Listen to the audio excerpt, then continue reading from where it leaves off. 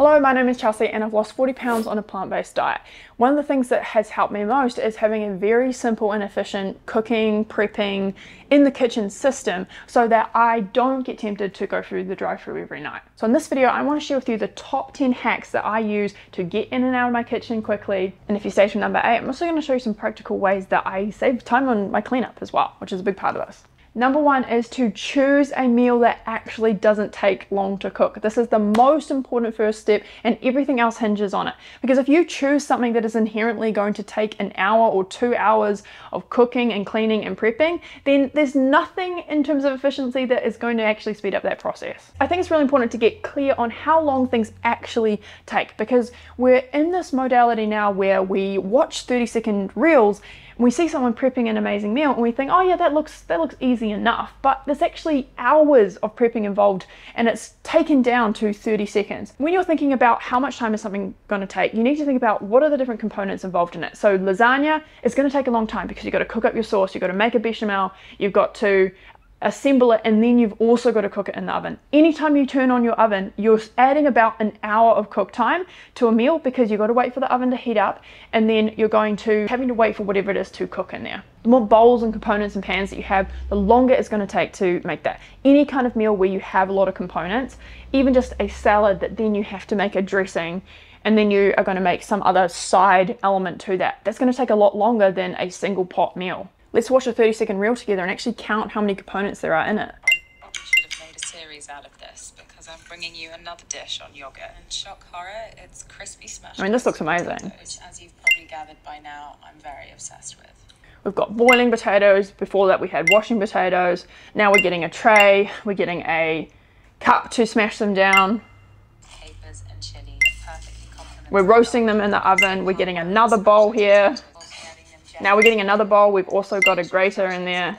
I love this creator and I love meals like this, but it's just not efficient time-wise. So when you're thinking about cooking, choose two vessels max. And if you want to be even quicker, then choose one. So think one pot chili, one pot pasta, sheet pan meals, or if you're going two, then go curry with rice or pasta, which has a sauce and then has a noodle component. If you have a rule for yourself to stick to two components, then you're automatically going to make your meals so much quicker. The second thing you want to do to save time is to choose some core recipes that you can interchange different ingredients for.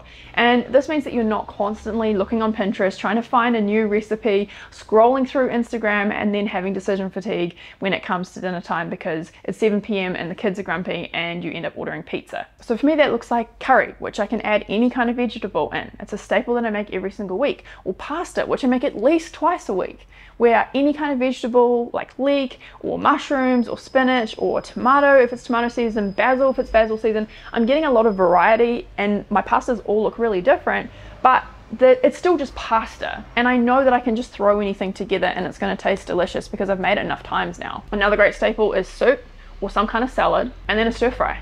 And if you have those things, you've got a whole week's worth of meals and you just need to buy whatever veggies are in season and then throw them together. Number three is to set up stations that actually work with the flow of your cooking. And I have a friend who I love very dearly, and when she's cooking, because her compost bucket is in the pantry, she doesn't throw compost in it. She throws it in the sink and then has to clean it up later. Or if I'm there cooking with her, I clean it up you know who you are. But what I have found is that if I have a little container which doesn't hold as much compost as a big bucket, but I have that under the sink, I put it up on my bench. And it means that as I'm chopping veggies, all the skins go in, all of the scraps go in, and I'm essentially cleaning up as I cook. I also chop the veggies that I'm going to be using right next to the pan that I throw them in. If I don't have room, then I quite often cook with my pressure cooker, and I just use that as a big pan so that I can have all of my station right there ready for me.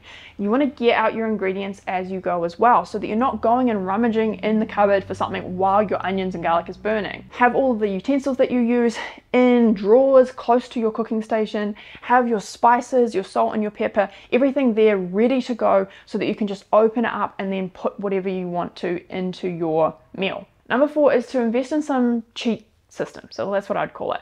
First one being a really good sharp knife. I know this seems kind of obvious, but if your knife is blunt, it's not only dangerous, but it's also going to waste you a ton of time because chopping things is so much slower. I also think a big chopping board, not something really tiny and piddly, is helpful because it means that you can chop all of your veggies and you can kind of stack them up while you chop other ones, meaning that you're saving on bowls and space because you don't have to put them somewhere else. And then when, once you're ready to put them in your pan, you can just put them in through that chopping board. I also love having my air fryer because my air fryer has just saved so much time that I would have used crisping things to go in the oven. So if I want to add tofu to a curry, I just chuck it in my air fryer, which is close to my cooking station, and then it's actually ready when my curry is ready as well, when I've cooked up all my veggies and I can just throw it in last minute. Same with things like kumara or potatoes. They're ready to go in whatever I'm making because my air fryer is so much faster than an oven. I also like to have a kettle by my cooking station. This means that when I'm heating uh, pasta water, I can boil up water in my kettle first, which means that it's much quicker to heat water.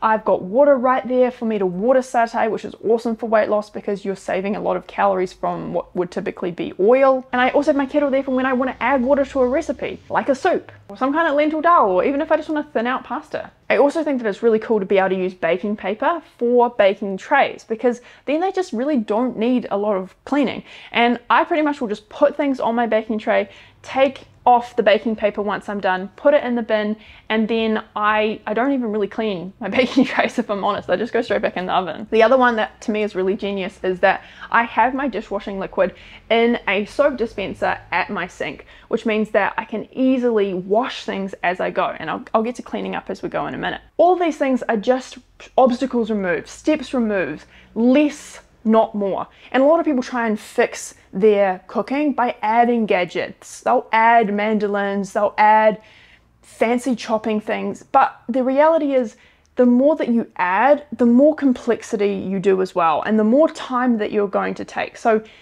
does it actually add up to be better if you could just eliminate a step altogether? I go with elimination. Number five is to multitask as you cook. And this does take a little bit of trial and error and a little bit of practice. But if you've got something like onions cooking, for example, what I do is I will cook, I will chop up my onions, I have all my veggies ready to go, chop up my onions, add them to a pan then start chopping my other veggies that I'm going to add first. So if it's carrots or if it's uh, potatoes, if it's kumara, anything that's a bit more starchy that takes longer to cook, I'm going to cut that up and then I'm going to also add that to the pan. While that's wilting down, or not wilting, but while that's cooking down, I'm going to be cutting my softer veggies like a capsicum or mushrooms or zucchini, things that I'm going to add in last. This means that I don't have to cut and prepare everything all at once before I even start the cooking process it means that I'm, I'm very efficient with the time that I use. And a little tip here is that your starchy vegetables like carrots, potatoes, they all take longer to cook. So you do actually have a bit of time once you throw them in your pan to cook or cut and whatever else you're going to add to it. Number six is to buy things that are already pretty much ready to go. So think washed potatoes, frozen rice, where if you're making a rice dish, you don't even have to cook up any rice, eliminating a component, pre-made beans, minced ginger, minced garlic yeah, these things aren't quite as nice as the fresh version, but they're a pretty passable alternative. And this is really the only way to truly speed up co cooking is just cheat. Pre-made pasta sauce, frozen veggies where you don't even have to chop anything or use a chopping board, pre-made curry pastes and pre-made spice mixes. The spice mixes is a really big thing for me because when I see a recipe that has a buttload of spices in it and it's just like ding ding ding ding ding and now the recipe is this long as opposed to this long then I check out and it just gets overwhelming. It's also really hard if you're a beginner to know how to intuitively cook with a spice blend you have to really follow recipes whereas if you are just using like a taco mix that you've already bought or a curry paste then really to get it nice you just add a bit more of it so that you can throw in a little bit and then add a bit more if you want to. It means that your cooking doesn't have to be as exact, which is great for saving time because you're not trying to read a recipe and then directly follow it follow it you're more using them as a guideline and then throwing stuff in as you go you can't really muck it up if you use pre-made spices and mixes i also don't peel any vegetables i don't even peel pumpkin I just eat the skin. And so this saves me a ton of time because I'm not never, like never peeling anything. I don't peel carrots, I don't peel anything. It makes your food higher in fiber and you're not wasting as much. So give it a go. Number seven is to reuse bowls and reuse utensils.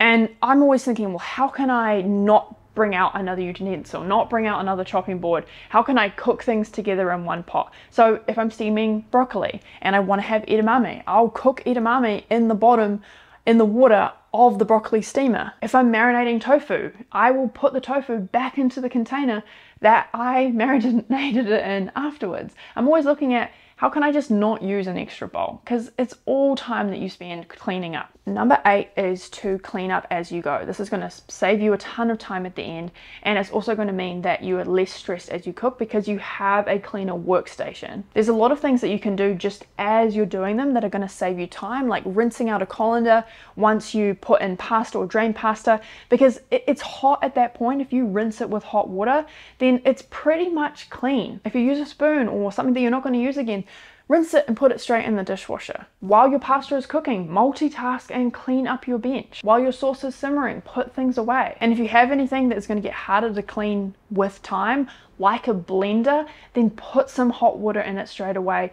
Put some detergent in, whiz it up, and even if you don't clean it and scrub it right there, have it on your bench so that you're not coming back to something that is really, really difficult to clean afterwards. I love cleaning as I go, and I'd love to hear in the comments, is this something that you do as well? It saved me so much time, and it means that I'm not creating this overwhelming mess for either myself or whoever's going to clean up later. I always see quick recipes online that have so many dishes involved in them. Like, there's no way in hell that that's actually quick when you factor in your total time, not just the time that you're cooking. Number nine is kind of an unusual one, and that is to delegate. If you're in a household with other people, then you can ask them to do simple things and have them do simple tasks that are going to make all of your systems easier. So, for example, in my family, my husband is always the one that puts on rice. And I'm gonna make a quick stir fry and Nick is putting on some rice because it's just a simple job that he can do that once you know how to do it, it doesn't require any additional effort or brain power. So as we're getting closer to dinner time, I will say to him, hey Nick, can you please put on some rice? So then all I'm doing is cooking up a stir fry. If you have kids, they can chop vegetables. If you have teenagers in the house, they can scrub potatoes. What my mum used to do was we'd always buy dirty potatoes, which I never do now. And so we'd have to sit and scrub potatoes or we'd peel them.